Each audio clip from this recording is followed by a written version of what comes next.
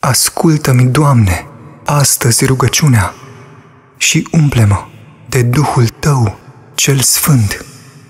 Fii Tu, prea cinstite, Cel ce îmi luminează calea și veghează-mi pașii din înălțimea neîntinatei Tale împărății.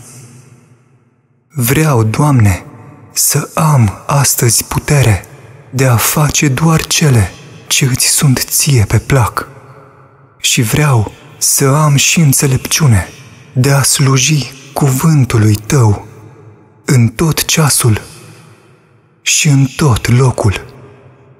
Dăruiește-mi, Doamne, zi cu sănătate, cu bucurie și cu înfrânare și iartă-mi Tu toate cele neîmpărtășite ale sufletului meu. Rămâi Tu izvorul meu nesecat de cuvință și de îndrumare și ține-mă aproape de cele sfinte și curate. Dacă voi întâmpina greutăți, ajută-mi.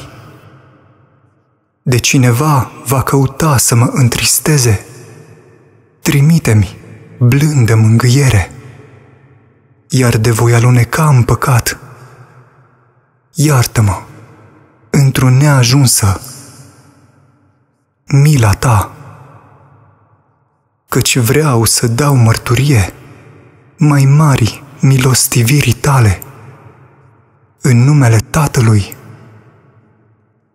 și al Fiului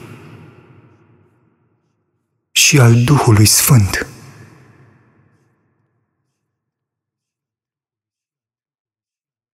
Amin. Binecuvântat fii Tu, Doamne, pentru că m-ai binecuvântat pe mine cu darul acestei zile.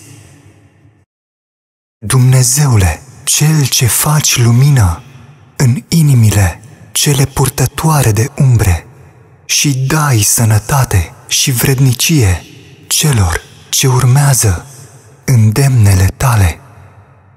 Ajută-mă ca să pot duce și astăzi la bună împlinire toate cele pe care mi le-ai încredințat și arată-mi drumul pe care să pășesc pentru a mă apropia și mai mult de tine.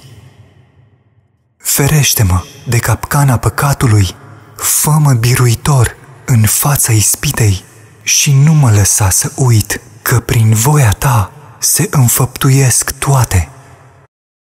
Și că deși unele lucruri sau situații par pe moment greu de înțeles și de acceptat, Tu știi care e rostul lor, Doamne, și care sunt tainele lucrării Tale.